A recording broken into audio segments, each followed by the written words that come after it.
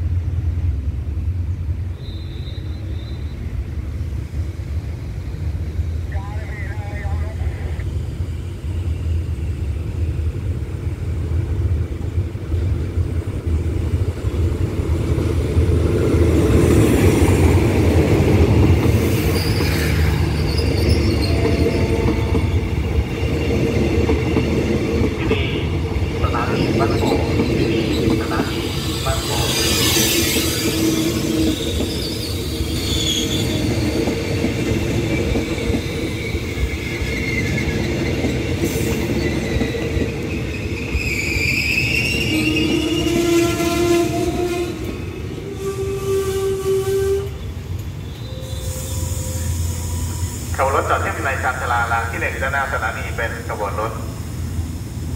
ด่วนพิเศษทักษินารักษ์ขบวนที่สามหนึ่งหยุดรับส่งผู้โดยสารจากสถานีต้นทางกรุงเทพปลายทางสถานีสุดทาหัดใหญ่ครับ